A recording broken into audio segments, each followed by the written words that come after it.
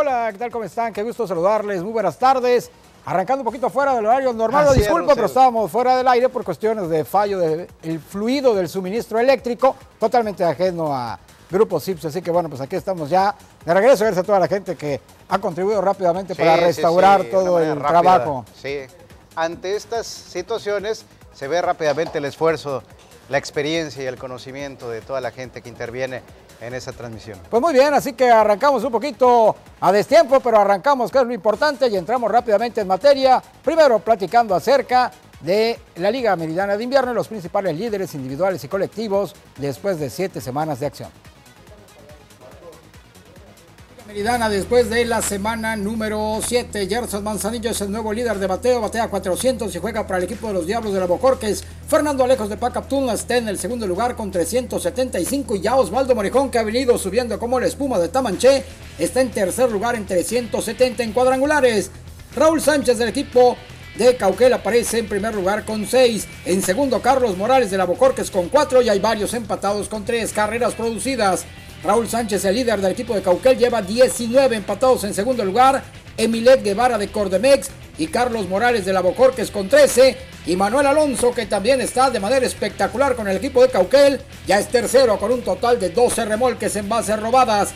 Gerson Manzanillo de la Bocorques lleva 12, una de ventaja sobre Obed Buenfil del equipo de Cauquel, mientras que Fernando Alejos de Pacaptum va en tercero con 7. El bateo colectivo lo comandan los Rockies de Cauquel con 282. Los constructores de Cordemex aparecen con 278. Cuatro milésimas por encima de los senadores de la Morelos que están en 274. Los Diablos en 260.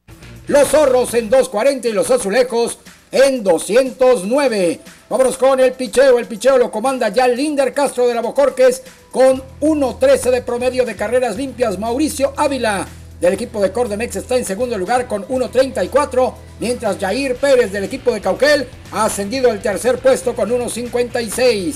En Ponches, Omar Niebla sigue de líder, 55. Él juega para la Morelos, Linder Castro va segundo de la Bojorques con 42 y Fernando Villalobos, que ha tenido toda la mala suerte del mundo, pero ha pichado muy bien, viene de una semana de 12 ponches, es tercero con 40. En juegos ganados, el zorro Noé Aldrete llegó a 5 en la campaña, mientras Mauricio Ávila va con marca de 4 y 1. Él juega para Cordemex. Hay varios empatados con 3 triunfos. Por lo que toca juegos salvados, Cafet Canto de la Morelos lleva 4. Luis Navarro de la Bocorques y Roberto Garibay del mismo equipo tienen un par. Empatados en el segundo lugar con Kleiber Alcocer del equipo de Pacatún con 2. El pichó colectivo lo comandan los Diablos con 2.18. Los Rockies vienen en segundo con 2.70 de efectividad. En tercero, los Zorros de Pacatún con 3.07. En cuarto lugar, los senadores de la Morelos con 3.45, los constructores en quinto con 4.73 y los azulejos en el sexto lugar con 7.56. El standing tiene a los Diablos en primer lugar, un único equipo con doble dígito en triunfos, 10 y 3 de récord, dos juegos y medio de ventaja sobre senadores y Rockies. Los Diablos tienen cuatro juegos ganados de manera consecutiva. Los zorros con 7 y 6 están a 3 juegos, los constructores con 6 y 8 de récord a 4 y medio y los azulejos con 2 y 12 a 8 juegos y medio. Los partidos de la semana 8 todos a la 1 de la tarde, sábado 19 de diciembre. Los senadores visitan a los zorros de Pacaptún, el juego a través de Cipso Deportes Radio por internet. Los diablos, los líderes, van a Tamanché contra los azulecos y los constructores visitan a los Rockies en Cauquel. El domingo 20 también a la 1 de la tarde, Tamanché devuelve la visita a los Diablos de la Bocor, que es este juego a través de Cipso Deportes Radio por internet. Los zorros van a enfrentar a los senadores en La Morelos y los Rockies visitan a los constructores en Cordemex. Rapidito las transmisiones para este fin de semana a través de Cipso Deportes Radio por internet. El sábado desde el campo de Pacaptún, el juego entre los senadores de La Morelos y los zorros de Pacaptún. Este juego a la 1 de la tarde el sábado.